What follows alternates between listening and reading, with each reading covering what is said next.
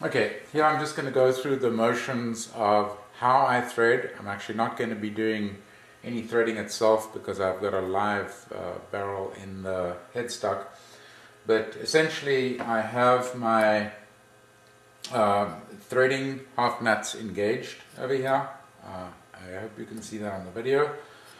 Um, I set my compound to 59.5 degrees and as I say, I have a piece of material in there right now that has been threaded and I'm just going to go through the process of how I would um, thread, in this particular case, 16 TPI. That's 16 threads per inch.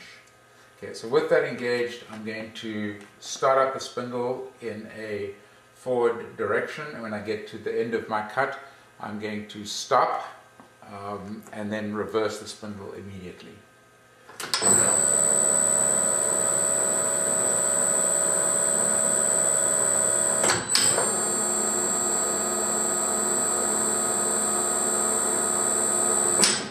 Okay, so there what I did was I wound, and I, I pulled out my cross slide as well.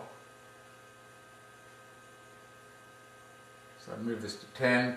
I would then increase my depth of my cut here on my compound a little bit, right? And then I would start again. Bear in mind I'm keeping this ready to remove the cross slide from the thread pass and at the same time to reverse the direction.